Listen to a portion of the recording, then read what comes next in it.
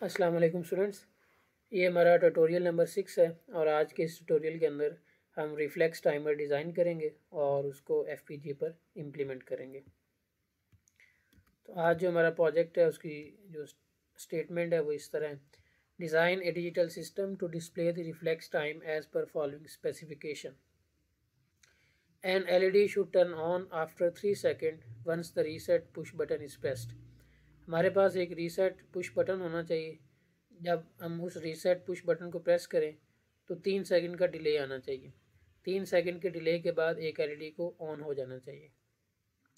After LED turns on जैसे ही LED on हो तो the user will press another push button as fast as ही और she can तो जैसे ही एलईडी ऑन हो जाए तो उसके बाद यूज़र के पास एक और पुश बटन हो। वो उसको जितना जल्दी हो सके उसको प्रेस करें। Meanwhile, a timer will keep track of how long it took the user to react. और इसी दौरान एक टाइमर हो जो कि ये कैलकुलेट करे कि यूज़र को रिएक्ट करने में या पुश बटन प्रेस करने में कितना टाइम लगा। And display this reaction time on seven segment display and आगे लिखा हुआ है कि seventy second accuracy is required seventy second accuracy का मतलब यह है कि जो एक सेकेंड का जो सोवा हिस्सा है उसके अंदर हमें एक्यूरेसी चाहिए। तो अगर इसको मैं एक्सप्लेन करूँ सेवेंटी सेकंड को तो इसका मतलब यह है कि हमारा आंसर जो आ, अगर मैं एज्यूम करूँ हमारा answer zero point zero zero से लेकर मैक्सिमम जो यूज़र टाइम ले सकता है वो मैं एज्यूम कर रहा हूँ नाइन पॉइंट नाइन नाइन है। तो क्योंकि ये अब ये सेकंड है। ज़ीरो पॉइंट ज़ीरो ज़ीरो से लेकर nine point nine nine second तक हमारा आंसर आ सकता है। अब ये पॉइंट के पास क्योंकि टू डिजिट्स आ रहे हैं तो इसको हम सेंटी सेकेंड कहते हैं। एक सेकंड का सोवा हिस्सा। तो अब प्रोजेक्ट की वर्किंग इस तरह है कि हमारे पास एक रीसेट बटन होना चाहिए, उसको हम प्रेस करें। तो उसके प्रेस होने के बाद तीन सेकंड का डिले आए और तीन सेकंड के डिले के बाद एक एलईडी ऑन हो जाए जैसे ही एलईडी ऑन हो, अब यूज़र दूसरा पुश बटन जो उसके पास है उसको जितना तेज़ी से वो प्रेस कर, कर जल्दी प्रेस करना चाहे वो कर सकता है। तो और जैसे ही वो उस पुश बटन को प्रेस करे तो एलईडी ऑन होने के बाद यूज़र को कितना टाइम लगा बटन प्रेस करने में वो टाइम हमने अपने सेवन सेगमेंट डिस्प्ले के ऊपर शो करना है। तो मैं एज्यूम कर रहा हूँ कि मैक्सिमम टाइम जो यूज़र को लग सकता है वो nine point nine nine second है क्योंकि होपफुली वो इससे पहले ही प्रेस कर देगा। लेकिन जो मैक्सिमम टाइम है वो nine point nine nine second तक जा सकता है। ओके अगर आप इसको देखें तो हमारे पास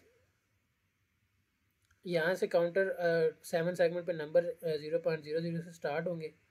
उसके बाद जो सेवन सेगमेंट पे आएगा, अगर मैं स्टेप बाई स्टेप चलूँ ज़ीरो पॉइंट ज़ीरो वन आएगा। फिर उसके बाद सेवन सेगमेंट पे आएगा ज़ीरो पॉइंट ज़ीरो टू फिर आएगा जी ज़ीरो पॉइंट ज़ीरो थ्री क्योंकि after every zero point zero one second seven segment अपनी वैल्यूज़ को मतलब सेवन सेगमेंट में ये नंबर तेज़ी से अपडेट हो रहे होंगे और मैक्सिमम जो नंबर जा सकता है, वह nine point nine nine second तक। तो एक यहाँ से लेकर यहाँ तक जो जंप करने में डिफरेंस आएगा, टाइम का वो आएगा zero point zero one second या टेन मिली मिली सेकेंड में देखें तो टेन मिली सेकेंड बनता है। तो हमारे टाइमर जो सेवन सेगमेंट्स के ऊपर after every ten millisecond numbers change हो रहे होंगे। यहाँ से स्टार्ट होंगे और यहाँ से maximum nine point nine nine तक जा सकते हैं। अब इन बिटवीन फ़र्स्ट करें, यहाँ पर यहाँ पर यूज़र ने अपना रीसेट बटन प्रेस कर दिया और उस टाइम पे फ़र्स्ट करें टाइम था जी फाइव पॉइंट फाइव सेवन तो अब ये कह लेंगे हमारा, अभी जैसे यूज़र ने ये पुश बटन प्रेस किया यूज़र ने पुश बटन प्रेस किया यहाँ पर और उस टाइम पे अज्यूम करेंगे सेवन सेगमेंट्स के ऊपर five point five seven number आ रहा था। तो इट मीन्स कि एल के टर्न ऑन होने के बाद यूज़र को फाइव पॉइंट फाइव सेकेंड लगे ये पुश बटन प्रेस करने में। तो ये हमारा रिएक्शन टाइम होगा या रिफ्लेक्स टाइम होगा। अब आ, होना क्या चाहिए? मतलब ये सिस्टम किस तरह काम करेगा? इनिशियली हम रीसेट तो इनिशियली सिस्टम को स्टार्ट करवाने के लिए हम रीसेट बटन प्रेस करेंगे।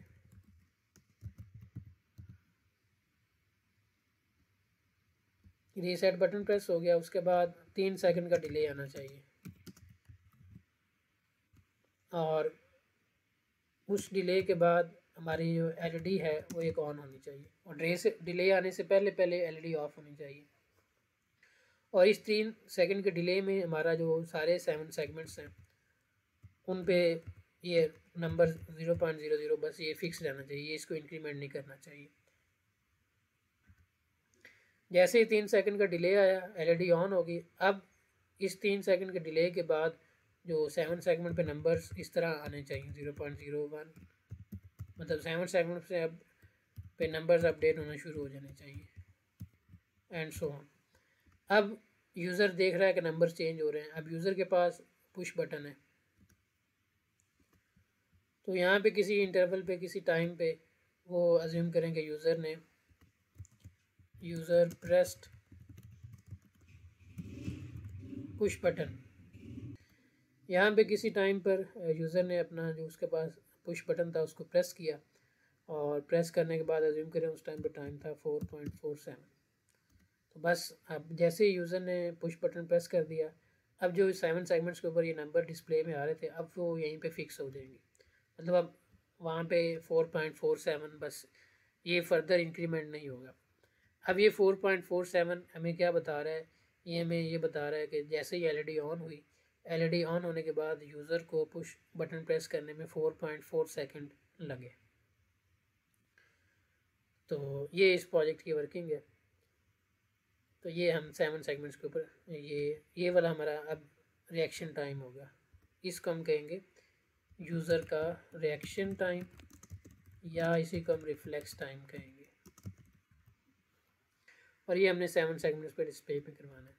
और मैक्सिमम ये रिएक्शन टाइम कहाँ तक जा सकता है? Nine point nine nine second तक। अब अगर आप इसको सेवन सेगमेंट्स के लिहाज से देखें तो ये first nine first seven segment पे आए सेकंड नाइन सेवन सेगमेंट पे आए ये थर्ड नाइन तीसरे वाले सेवन सेगमेंट के ऊपर आए तो हमें टोटल इस रिएक्शन टाइम को डिस्प्ले करवाने के लिए प्रोजेक्ट में three seven segments will be required हमारे पास टोटल आठ सेवन सेगमेंट्स हैं एफ़ पी जी बोर्ड पे तो बाकी रिमेनिंग फाइव हम ऑफ़ कर सकते हैं टर्न ऑफ़ या उन पे परमानेंट ज़ीरो डिस्प्ले करवा सकते हैं। Turn off remaining five seven segments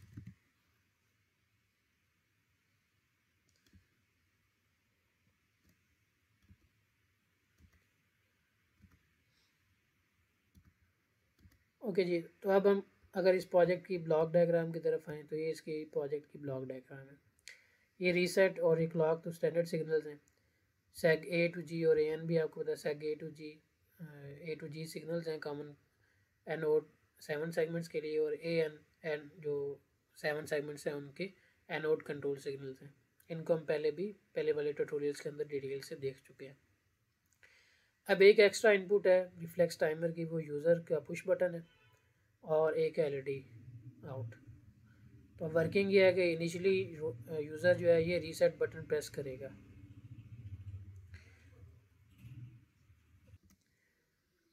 user initially ये रीसेट बटन प्रेस करेगा, उसके बाद तीन सेकंड का डिले आएगा। तीन सेकंड का डिले आने के बाद ये वाली एलईडी ऑन हो जाएगी। और जब ये एलईडी ऑन हो जाएगी तो यूज़र ये वाला पुश बटन प्रेस करेगा।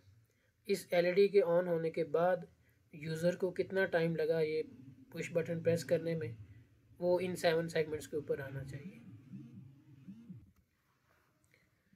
तो इस एलईडी के ऑन होने के बाद यूज़र को पुश बटन प्रेस करने में जितना टाइम लगेगा, वो टाइम सेवन सेगमेंट के ऊपर डिस्प्ले में आना चाहिए।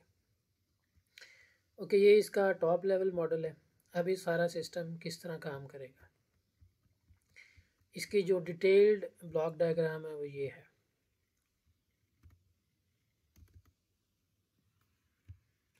ये टॉप लेवल इसका मॉडल है ये इसकी डिटेल्ड ब्लॉक डायग्राम है।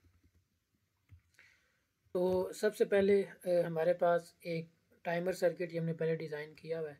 इसको हम कन्फिगर करेंगे to produce the three second time ठीक है? तो सबसे पहले हम एक टाइमर सर्किट लगाएँगे। या यूज़ करेंगे और उससे एक पल्स जनरेट करेंगे टाइमर की, उसका नाम दे देंगे टी थ्री सेकेंड पल्स इस टाइमर सर्किट की जो आउटपुट है, वो एक स्टेट मशीन को जा रही होगी। अब स्टेट मशीन की रीसेट और क्लॉक ये स्टैंडर्ड इनपुट्स हैं और एक यूज़र पुश बटन भी स्टेट मशीन की इनपुट होगा। अब इस स्टेट मशीन का काम क्या होगा कि जैसे ही इसको ये थ्री सेकंड वाली पल्स लॉजिक वन मिलेगी ये क्या करेगी? ये इस एलईडी को ऑन कर देगी। इस एलईडी को ऑन करने का मतलब ये होगा कि तीन सेकंड का टाइम गुजर गया अब यूज़र ये वाला पुश बटन प्रेस कर सकता है। और इसकी एक दूसरी आउटपुट होगी, वो होगी इनेबल स्टेट मशीन की। तीन सेकंड ये थ्री सेकंड वाली पल्स आने से पहले पहले ये इनेबल जो आउटपुट है, ये ज़ीरो होगी। और जैसे ही तीन सेकंड वाली ये पल्स आ जाएगी तो ये इनेबल वाली जो आउटपुट है, इसकी वन हो जाएगी। ठीक है।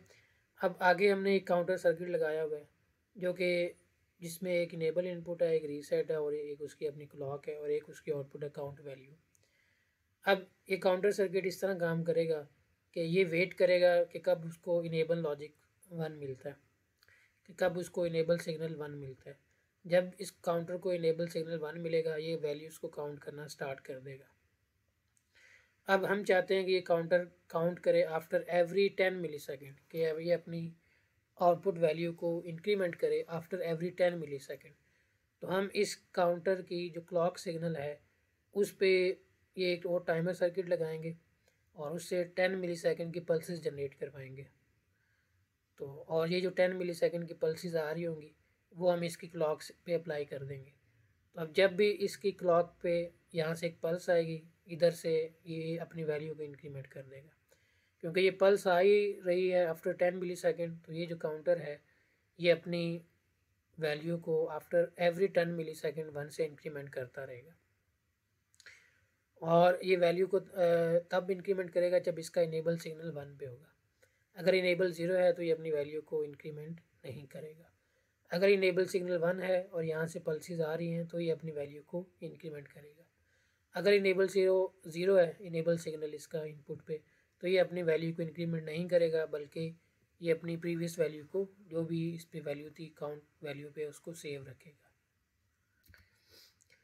तो ये काउंटर सर्किट का फ़ंक्शन ही है कि ये इनेबल अगर इनेबल इनपुट इसकी वन है तो after every ten millisecond ये अपनी काउंट वैल्यू को इंक्रीमेंट करता रहेगा।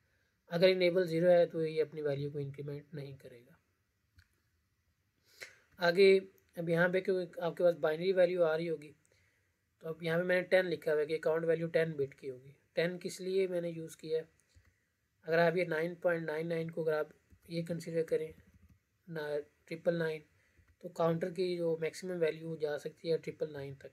तो ट्रिपल नाइन को रिप्रेजेंट करने के लिए आपको बाइनरी में टेन डिजिट्स चाहिए ten bits ten bits are required to count up to from zero zero से लेकर ट्रिपल नाइन तक अगर आपने काउंट करना है तो आपको काउंटर की आउटपुट पे जो काउंटर है वो टेन बिट का काउंटर चाहिए।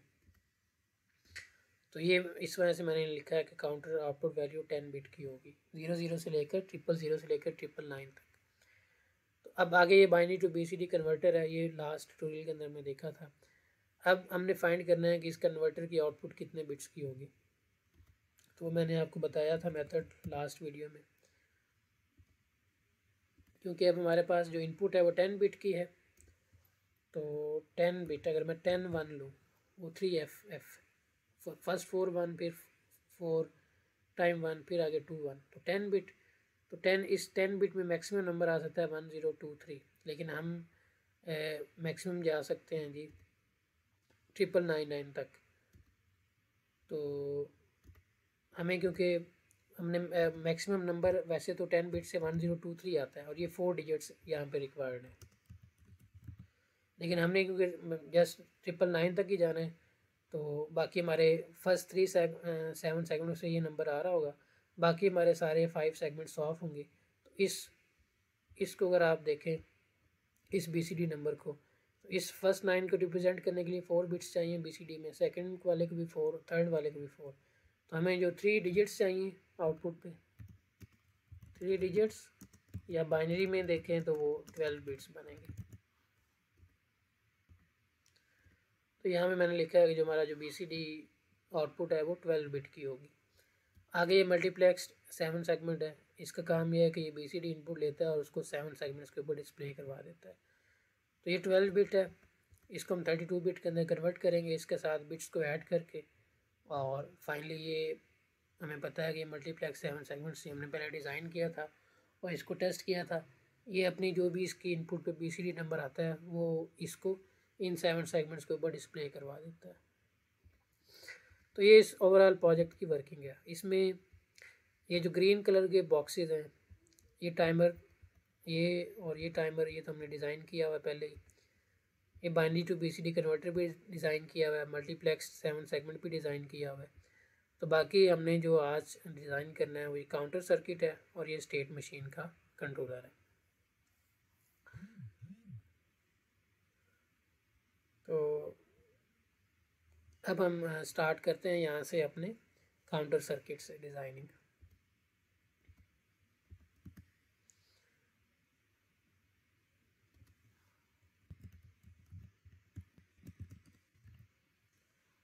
रिफ्लेक्स टाइमर ये बेसिकली हमें डिज़ाइन करना है। और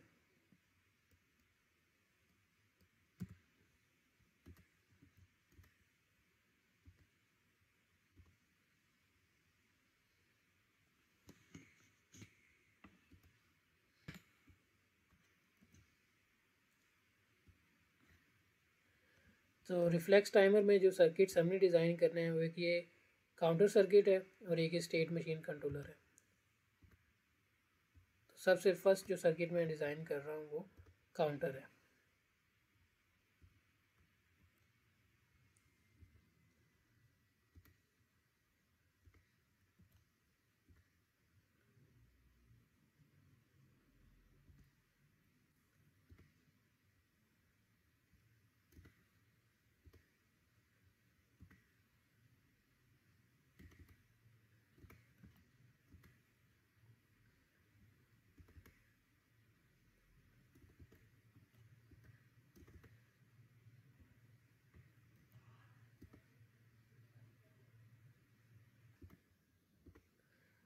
यहाँ पे डिवाइस नंबर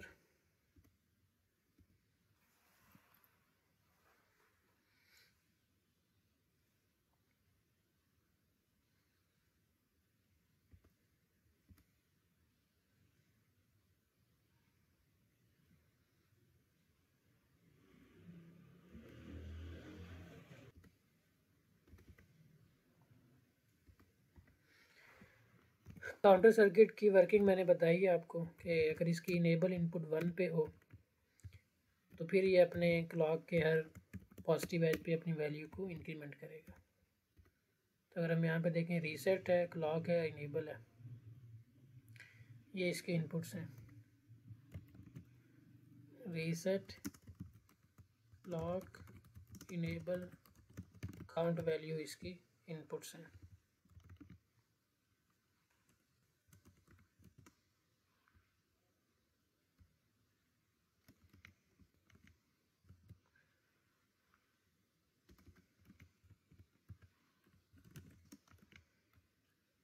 काउंट वैल्यू जो यहाँ पे हमें चाहिए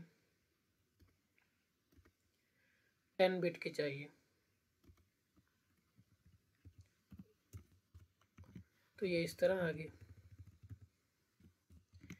जब इस काउंटर सर्किट को भी हम अगर पैरामीटराइज कर दें, कि फ़िक्स ना रखें ताकि हम बाद में भी कभी अगर इसको यूज़ करना पड़ सकता है तो हम इसकी जो नंबर ऑफ़ बिट्स हैं, वो चेंज कर लें। मैं यहाँ पे लिख देता हूँ एन बिट्स काउंटर टेन इसका इसका पैरामीटर डिफाइन कर देता हूँ और यहाँ पर एन बिट्स माइनस वन कर देता हूँ।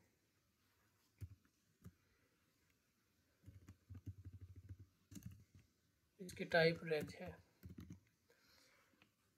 okay, अब इसकी वर्किंग क्या है?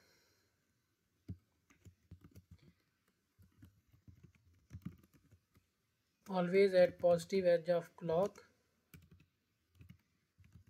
or positive edge of reset.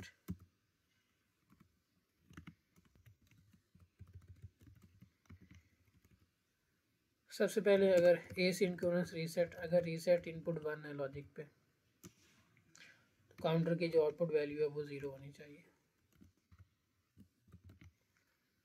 Else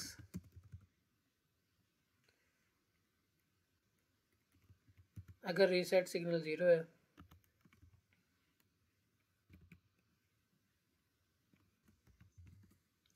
ये एल्स का बिगिनर एंड क्योंकि इसमें मल्टीपल स्टेटमेंट्स आएँगे। इफ़ ये अब इनेबल इनपुट को मॉनिटर करेंगे। अगर इनेबल इनपुट वन है।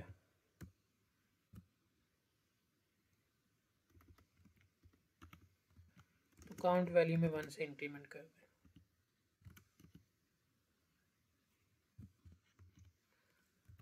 एल्स अगर इनेबल भी ज़ीरो है तो फिर काउंट की वैल्यू को इंक्रीमेंट करने की ज़रूरत नहीं है। फिर ये अपनी प्रीवियस वैल्यू ही मेंटेन करें।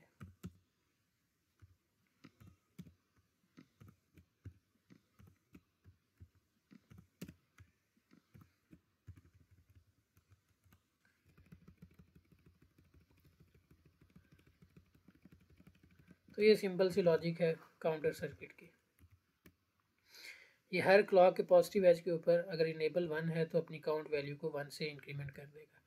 अगर ये क्लॉक आ रही है टेन मिली सेकेंड के बाद मतलब क्लॉक का positive edge after every ten millisecond आ रहा है तो काउंट की value after every ten millisecond one से इंक्रीमेंट होती जाएगी। अगर इनेबल उस टाइम पे वन है तो, तो ये सिंपल सा काउंटर का सर्किट है। इसको ज़रा बस सेंथिसाइज करके देखते हैं।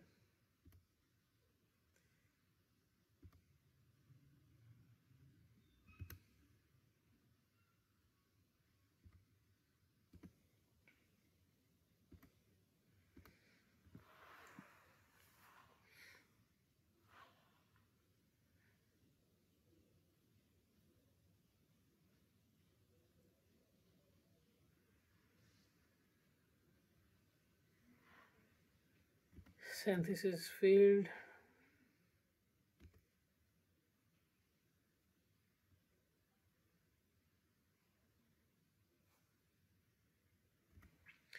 यहाँ पे छोटा सा एरर है ये इसको यहाँ पे आना चाहिए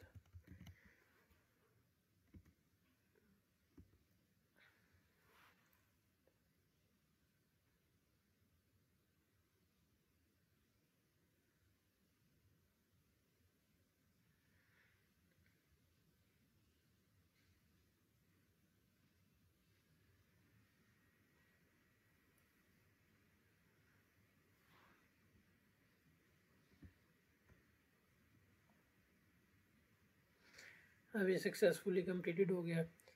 अब हमने इसकी सिमुलेशन करके देखनी है।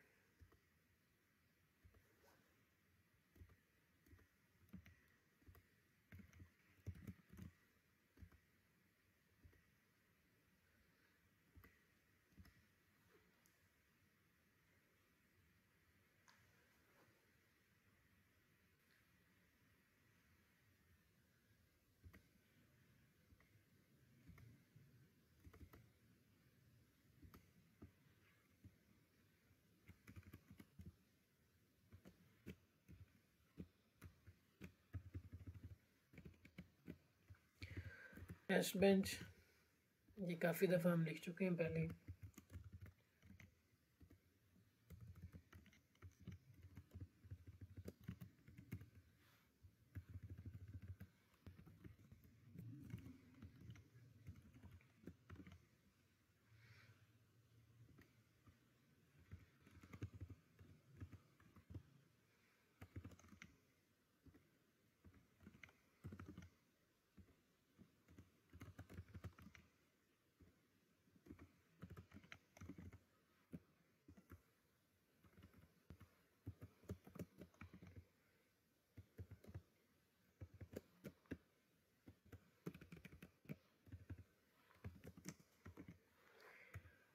तो ये हमने काउंटर सर्किट को इंस्टेंशिएट कर दिया। अब हमने अपने इनपुट्स और आउटपुट डिफाइन करनी है। रीसेट क्लॉक स्टैंडर्ड इनपुट्स हैं। तो इनका कोड मैं किसी पहले वाले टेस्ट पेन से उठा लेता हूँ।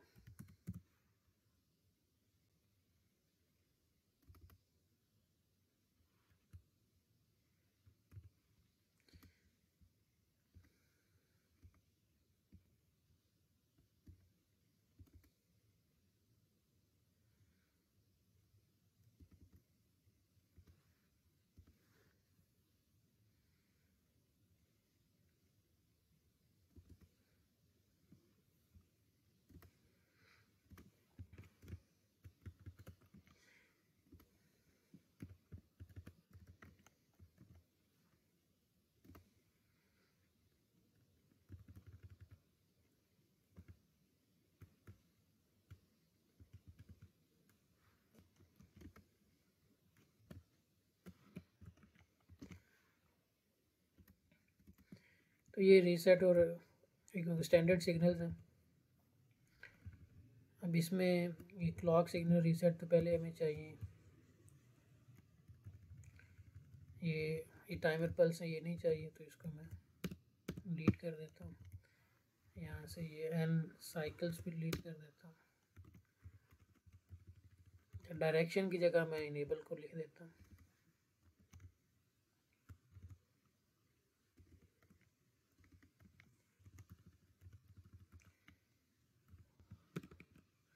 इसकी वर्किंग बेस इस सिग्नल की वर्किंग यह कि इनेबल पहले इनिशियली वन होगा, फिर 500 सेकंड 500 नैनो सेकंड तक ये वन ही रहेगा। और after 500 nanosecond enable zero हो जाएगा। डिफाइन इनेबल सिग्नल अब हम सिमुलेशन करके देख लेते हैं।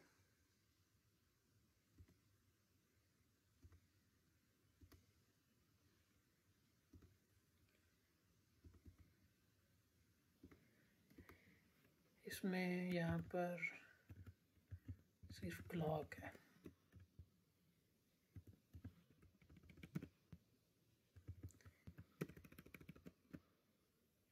क्योंकि इसकी ये क्लॉक है क्लॉक हंड्रेड मेगाहर्ट्ज़ नहीं है। दोबारा हम इसको सिमुलेट करते हैं।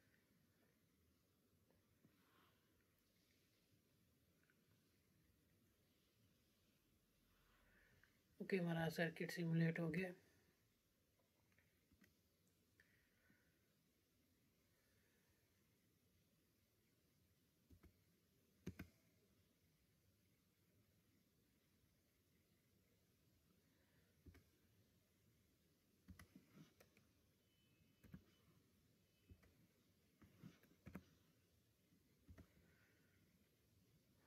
ओके यहाँ पे अगर आप देखें तो first five hundred nanosecond तक हमारा इनेबल सिग्नल बना है और काउंट वैल्यू इंक्रीमेंट हो रही है। अभी मैं इसको जूम इन करके भी दिखाता हूँ। और जैसे ही इनेबल सिग्नल ज़ीरो हुआ तो काउंट वैल्यू ने इंक्रीमेंट करना छोड़ दिया। अपने प्रीवियस वैल्यू को मेंटेन कर रही है। तो अगर हम इसको जूम इन करके देखें तो ये देखें।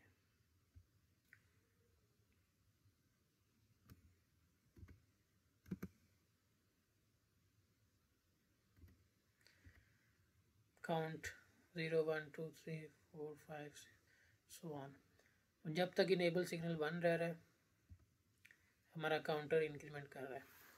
जैसे इनेबल सिग्नल ज़ीरो हुआ तो काउंटर अपनी प्रीवियस जो लास्ट इंक्रीमेंटेड वैल्यू है, उसी को मेंटेन रख रहा है। तो ये हमारे इस काउंटर के रिक्वायर्ड वर्किंग है। अभी काउंटर हर पॉजिटिव एज के ऊपर क्लॉक के पॉजिटिव एज के ऊपर अपनी वैल्यू को इंक्रीमेंट कर रहा है। अगर उस टाइम पे इनेबल सिग्नल बन है तो। और ये क्योंकि क्लॉक सिग्नल आ रहा है after every ten millisecond तो इट मीन्स कि जो काउंटर है अपनी वैल्यू को after every ten ten millisecond increment कर रहा है। और ये यहाँ पे बाइनरी वैल्यू है।